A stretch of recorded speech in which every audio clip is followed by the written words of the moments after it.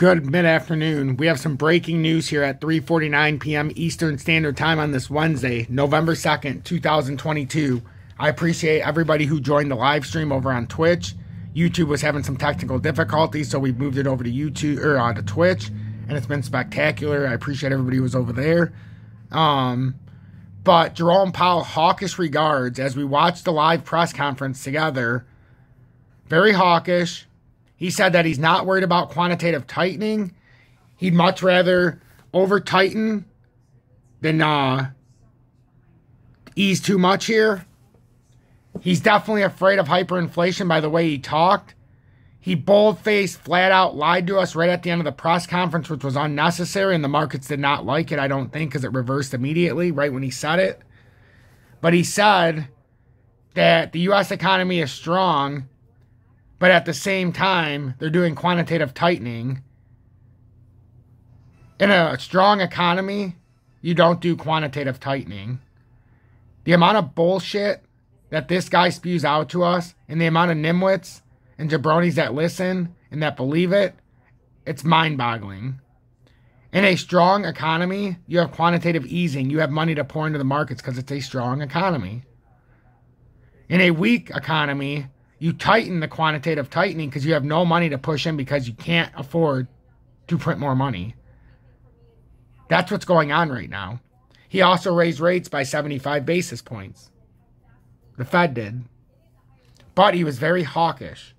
Very hawkish. And the fact is, is he very well might have created a bear market. And all signs are pointing to a possible bear trap. And you could possibly get a recovery pump before the elections here in the USA, so it's very dicey here. So pay attention.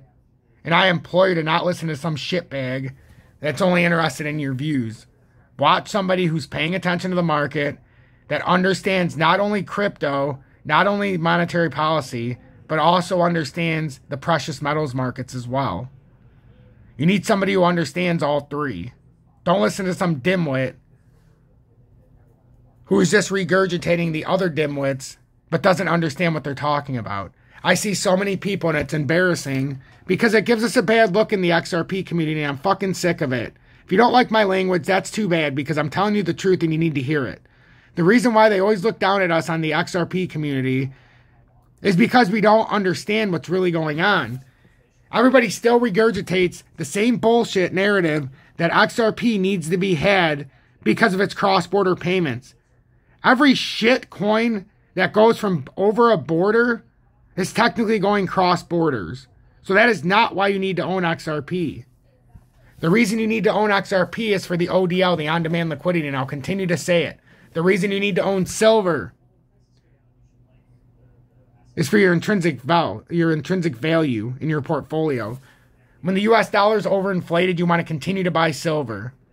Gold too, but silver when it's as high as the ratio is right now. It's currently at just over 84.6 to 1. Because then when the US dollar inevitably crashes, right now it's just over almost at 112 again. We'll take a look at that after. But when that comes crashing down, you want to have it in your precious metals, silver especially, because that goes up. The biggest, dirtiest dark lie is that precious metals, gold and silver especially, the value is diminishing that is such a horde of horse shit, a load of shit. Somebody needs to tell you the truth. There's a few people that will, but you're listening to me. Gold and silver's price is only coming down because the US dollar is overinflated. Which means if I go to Canada or anywhere else, everything's a lot cheaper for me because our dollar's overinflated. It's no different than when you buy bullion. The gold and silver might seem cheaper, but if I take that same ounce of gold or silver to another country, it's likely at all time highs because of the defailing of their money.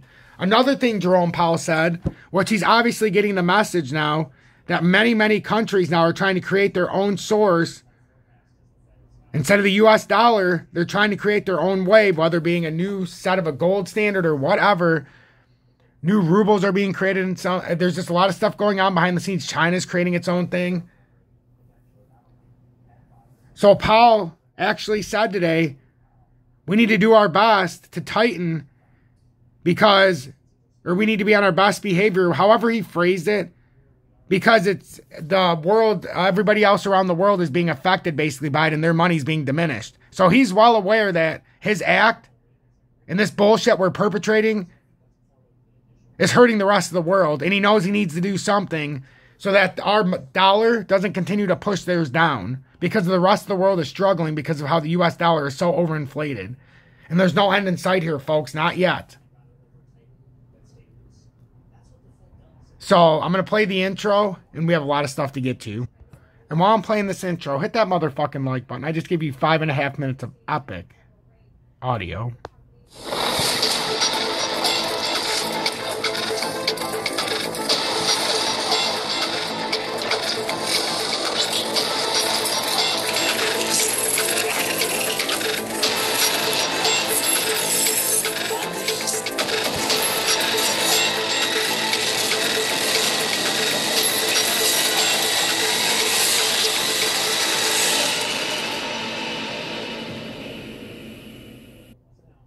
Good evening or good mid afternoon, 3:56 p.m. Eastern Standard Time on this Wednesday, November 2nd, 2022. Moments after Jerome Powell goes very hawkish. I'm XRP future millionaire and I reside in the great state of Michigan. As Michigan, the Wolverines got shafted in the first college football playoff and they're number 5. But that's okay. So, looking at the market, What's going on? Well, we've got the US dollar currency index revving back up. Unfortunately, I was forced to sell B2Gold while I was live on the air at $3.08 approximately because of the hawkishness. And then I realized that the US dollar is about to pump and you can't have your gold and silver mining stocks while that's happening. God forbid. So the market completely did the wrong thing in the precious metals market, which it's done, and I have a history of. So I'm watching it. And as of right now, I just saved almost over 7%. If I were to buy it back, I can buy 7% more. My average price was $2.99 after a couple purchases. I sold it at $3.08, so now I can buy it back right now at $2.94. But we'll see what happens. Um, as I don't think this move is done now because, as you can see, it's reversed back. And now we're going to have to see what the US dollar does, unfortunately. The US dollar is almost over 112 again. It's completely reversed. And in the two hour time frame, it looks very bullish. It had a very bullish pull down as well to get some liquidity. And now it's completely reversed tracks. And now it looks to be on its way up, even if it gets rejected up to 113 spot 29 is what I think is going on in the market right now. The US 10 year yield all of a sudden is up 3.6 basis points or 0.89% to 4 spot 082. If you remember this morning, it quickly reversed about mm, it was crazy where it was at this morning. Where was it at? Second. We were down to about three, well, this afternoon too, but 3.97%. So, you know, we've had a hell of a rally. We're up 11 basis points since the morning low. This is a volatile swing. That means a bunch of money went into the bond market before coming right back out. Crude oil is up 0.75% or 66 cents a barrel, up to 88 spot 63. Got PBR struggling down better than 2%. Gold silver ratio is up 1.35%. Buy your silver. Don't worry about how much it is per ounce. Worry about what's going on. Worry about the differential in the gold silver chart. Understand that you could be banking free silver at the end of this and buy your gold on that silver that you bought now. Not even have to use any more of your dollar. That's the point, ladies and gentlemen. I'm trying to teach you a hack. This is a life hack when it comes to precious metals. When the ratio is where it's at, let's just say 85 to 1 today. We buy 85 ounces at this ratio or greater. We take those 85 ounces when it's at 32 ounces or when it gets back to 11, because I think one day it's going to be 3 to 1. But let's just say it's 35 to 1. You take 35 ounces out of that 85 you still have 50 ounces of that silver. The same silver you just bought. Now go try to buy one ounce of gold for those uh, same amount of silver. It's not going to happen. You have to do it when the ratio is like that. So now you send them over 35 ounces of silver. They give you an ounce of gold. You still have 50 ounces of silver. You're storing your value in silver And then you just bought some gold with that silver on the differential cut by two thirds. Same logic applies if you want to get rid of your gold when the silver ratio goes crazy the other way. And it's just a game back and forth, and you just keep escalating your wealth. That's what a lot of the rich people do. That's a secret. It's a big secret. Mike Maloney taught me it over a decade ago. I just started putting it into use four or five years ago.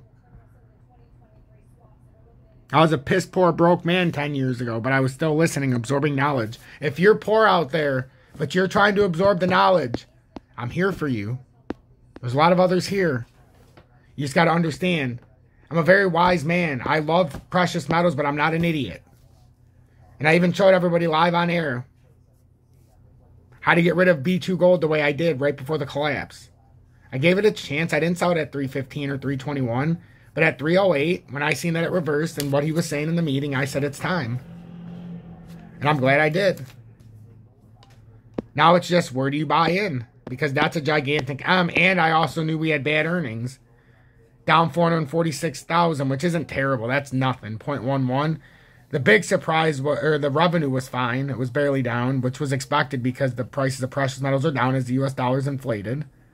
What was a bit of a surprise was the earnings. They were expecting a 0.03. It came at 0.049, which is down 0.019 or 38.6%.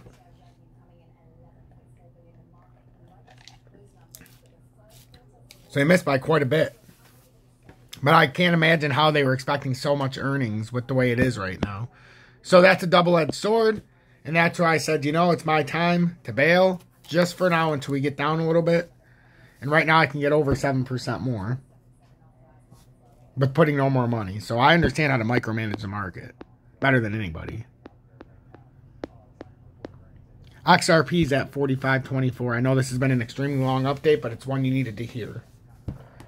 Bitcoin is down 1.16% to 20,240. My voice is all talked out because I was just on a live for an hour and seven minutes as well. But I'm trying to keep you informed. I would appreciate you hitting that like button. But more than that, I would appreciate one person joining Tom's Army today. Make my day for being here for you. You can even send a super thanks right in the. I'll show you at the end when I show you how to do the cryptos. If you want to join me on the exchange, on MEXC, or BitGet, or Uphold, they all have their own purpose. It's a simple way to support the show. I'm not going to sit here for 45 minutes telling you how to click my shit link or be a douchebag and say it 17 times in 7 minutes. I show you at the very end. Simple in and out. Because my belief is if you're watching until the end, you obviously care. If you're watching until right now, please tell me the number 776 in the comments. 776, nothing more, nothing less. For the ones who are watching at the end, there's a reason why I'm collecting these numbers, and you will only know if you're watching until the end.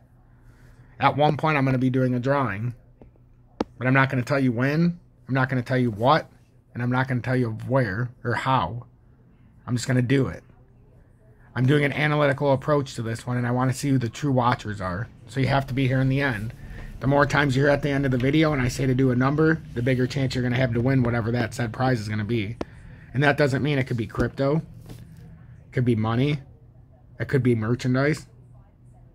Could be memorabilia. Could be anything, whatever I desire. And if that doesn't fit, I don't want to hear any questions about it or you're disqualified in the comments. Because the only people who should know about it are the ones who are going to stay here until the end. And you have to stay here until the end because you want to be, not because you're going to get something. Support level on Bitcoin is 20,116. If we break the 200 day, you would expect us to come back down to that 19,325.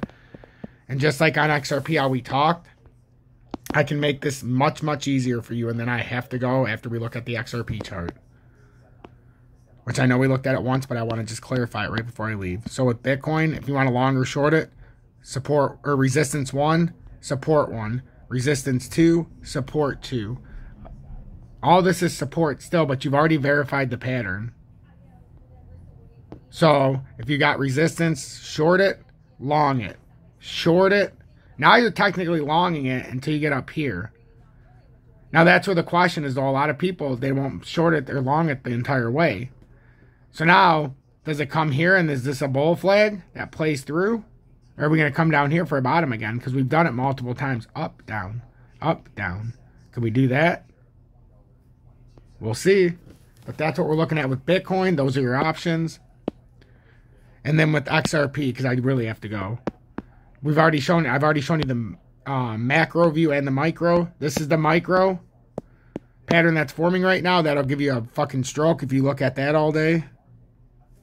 Or try to trade it. Right now we're back within the descending triangle and we're back within a very key level here.